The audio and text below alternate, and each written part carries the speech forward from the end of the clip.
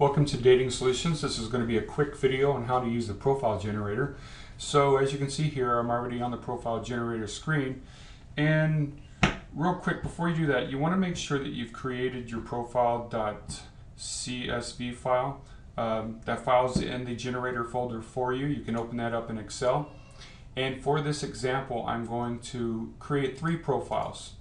And the first column is going to be the usernames the second column is my uh, the about me and my match.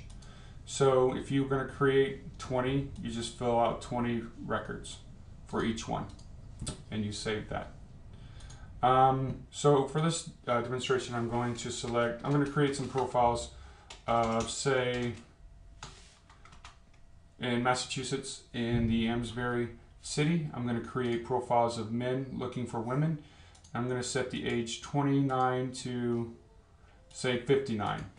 And I'm going to make sure I check all three of these.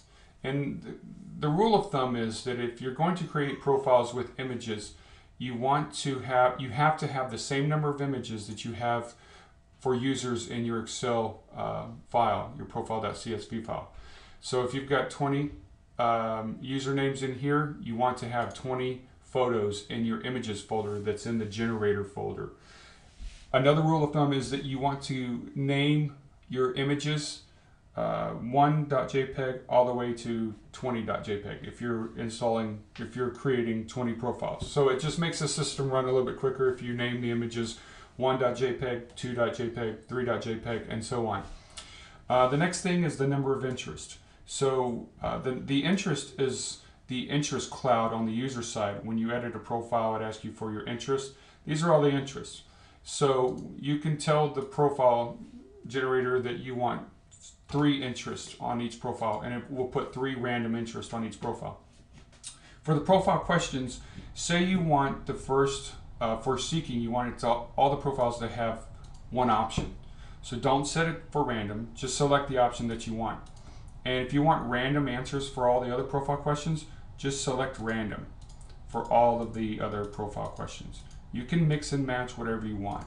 So for example, say I want random for everything except for seeking and body type, and then just for body type, I just select that.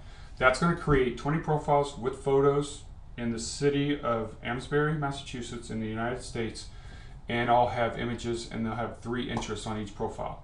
When you click generate, it will generate those profiles. It will then delete all of the images in the images folder. And if you want to use the, the profile generator again, make sure that you do not use the same usernames because it won't run because the usernames already exist. So it's up to you how many profiles you want to create. Uh, we've done a test with 4,000 and it worked beautifully. Uh, took about two minutes to do it, but it worked uh, without any issues. Um, the other thing, your generator folder, um, the, the images folder under the generator folder needs to have the permission 777. This is so that the folder, the, the images, the uh, profile photos get thumbnailed properly and then deleted. So make sure your images folder under the generator folder has a permission of 777.